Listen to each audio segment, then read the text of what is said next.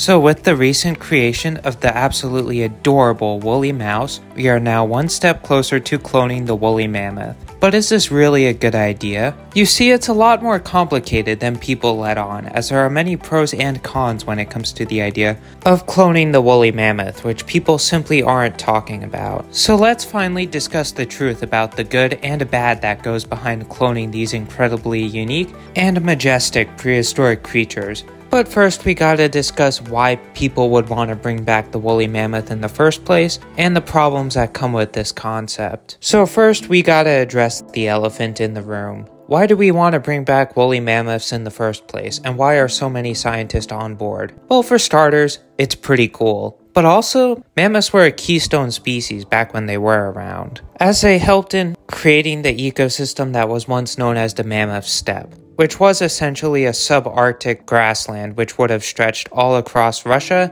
and in the northern half of North America. Prior to the extinction of the mammoth, these grasslands were once home to all sorts of incredibly unique creatures, ranging from modern day bison and yak to all sorts of unique prehistoric fauna, such as the Smilodon and Elasmotherium. Yet, we only want to bring back the mammoth and not these other creatures for a few reasons. The main one being the fact that, unlike those other creatures previously mentioned, the mammoths are experts at shaping their ecosystems. In other words, these creatures were ecosystem engineers, very similar to modern day elephants, as they would knock down forest, making more room for subarctic grasslands. And why do we want more subarctic grasslands? Because they happen to hold more CO2 than tundra forest, as permafrost tends to compact all sorts of greenhouse gases, keeping it locked away in the ground and out of our atmosphere, which in a way actually does help keep the earth cool. As regardless of what you believe, climate change is a big problem and we're gonna need all the help we could get in the upcoming years. Still, the impacts these creatures will likely have on climate change is probably gonna be very minimal, especially compared to the likely side effects that will occur by having reintroduced these mammoths back into the ecosystem, as even though they've only gone extinct as recently as 4,000 years ago in some areas, they are still essentially going to be a whole new species towards the other animals that exist in their current habitat.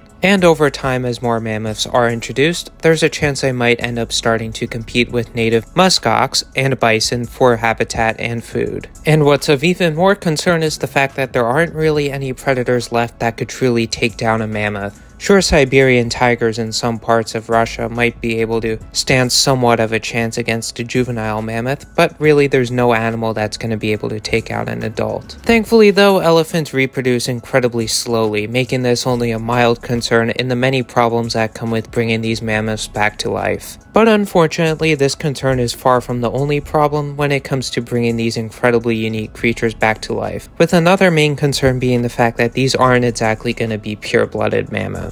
If you don't know how the cloning of extinct animals currently works, it's very complicated, but let's just say these aren't exactly going to be pure replicas of the mammoths of the past. Instead, they're actually going to be animals based off of our current closest relative of the woolly mammoth, that being the Asian elephant, as we're going to use the base genome of the Asian elephant and modify it using mammoth genes to create a very similar replica to what would have been the woolly mammoth. After all, the whole reason why these adorable woolly mice exist is because we needed to make sure that these mice would have been able to inherit some of the genes from the mammoths, specifically their fur and fat reserves, which would allow for these elephants, which would eventually become these quote unquote mammoths, to be able to survive in the Siberian tundra. And also, of course, we want this mammoth to actually look like a mammoth. So we decided to test these genes out on mice first, as it's been done plenty of times before with other animals, and for better or worse, gene research will continue to be done on these mice in the future. Though this also leads into our next problem for why cloning these woolly mammoths might not actually be such a good idea. As stated before, the base genome of these woolly mammoths will come from the Asian elephant. This means the woolly mammoth will actually need an Asian elephant mother in order to be created. And this comes with many, many problems. The main one being the fact that Asian elephants aren't exactly known for being experimented on due to their large size, highly intelligent social behavior, and the fact that that they are endangered throughout most of their range in the wild, meaning that they aren't exactly common in labs,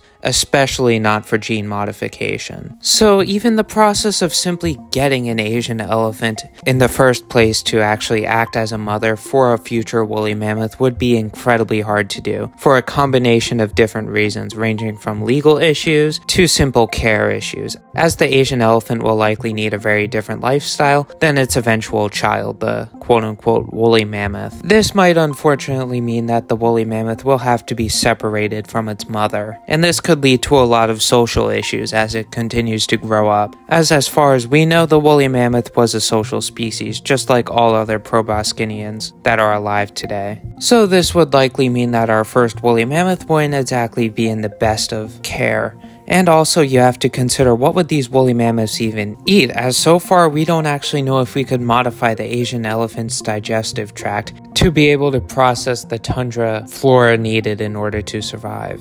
As the plants these woolly mammoths will be consuming in the subarctic is going to be very different than the tropical flora that the Asian elephants are currently consuming out in the wild. With this being of particular concern because the Asian elephants have evolved for over millions of years specifically to live in tropical forest, which is very different than the mammoths which have evolved specifically to eat the plants of the subarctic. You also have to keep in mind that even if this process is successful, we don't even know for sure if these hybrid mammoths will be able to breed. As while it's certainly not always the case, normally hybrids of different animal species aren't fertile or at the very least have reduced fertility. So this leads to the problem of how many Asian elephant mothers are we even going to need in order to create an actual successful population especially if a lot of them are going to end up being sterile. There's a very good chance that in order to actually make a successful mammoth population, we might need hundreds of Asian elephant mothers producing woolly mammoth babies in order to successfully make this work. And this comes with a lot of different problems, ranging from how much it will cost to actually take care of all of these elephants and actually successfully clone the woolly mammoth over and over again, and uh, the fact that, as stated before, these elephants are endangered. And this only further leads into the next ethical issue. That being if we should actually focus all our time and money and attention on bringing back the woolly mammoth in the first place, or if we should instead continue to try to support the Asian elephants in bringing them back into the wild and reintroducing them to more parts of their range in which they went extinct in. With so much money going into cloning the woolly mammoth, imagine what sort of amazing conservation efforts we could do if we had this amount of money going into the modern day Asian elephant. And since this project might actually require hundreds of different Asian elephant mothers, there's a very good chance that this project isn't going to help the Asian elephant population as a whole, to say the least. As this is time and energy that could be spent on producing more Asian elephant babies instead. After all, is it really worth putting this much time and effort into cloning the woolly mammoth when we haven't even cloned a single extinct mammal species successfully so far? The closest thing we have had to a success in cloning an extinct species was the Pyrenean ibex, which was cloned back in 2003 shortly after its extinction, though it died shortly after birth due to an unknown defect. So with a lack of reference, this still leaves a lot of unknowns when it comes to cloning any extinct species, let alone a creature that's been extinct for about 4,000 years and has many unknowns that come with it. And don't get me wrong, I'd love to see these incredibly large and impressive creatures roaming the tundra and recreating the mammoth steppe in the wild once again, just as they did thousands of years ago back when the earth was more pristine and untouched. But you just have to keep in mind that not every fantastical concept and incredible idea is always practical, and sometimes we have to ask the hard questions in order to decide if such ideas are practical or will even work in the first place. These questions are only further exacerbated by Colossal Bioscience's other alleged cloning projects, those being the ones currently done on the thylacine and the dodo. In the case of the dodo, not a single bird has ever been successfully cloned, let alone an extinct species of bird. This is because in order to clone an animal, you need to modify it very early on in its development. And while this is pretty easy to do with mammals in the uterus, this process is incredibly hard to do with birds which develop in the yolk while in a hard-shelled egg. And it only takes a little bit of disruption in order to end up killing the bird during its development while in the egg. So for this reason, not a single bird has been successfully cloned. And outside of its marketability, there isn't that much of a reason to clone the dodo in the first place beyond it just being cool. While they do aid in seed dispersal, there are plenty of other recently extinct species of birds that would likely be of much greater impact in helping the environment if they were to be brought back, such as the ivory-billed woodpecker, Carolina parakeet, or even the moas of New Zealand and the elephant birds of Madagascar. For as much as I love dodos, I think all of these species would be even cooler and also likely of much greater help towards the environment if we were to somehow find a way to successfully bring extinct birds back. The thylacine, on the other hand, is a much better candidate, in my opinion, than both the woolly mammoth and the dodo bird for an extinct species in which we should be trying to bring back. But there's still its own unique set of problems when it comes to bringing back this incredible animal. The main one being that its closest relative, the quolls,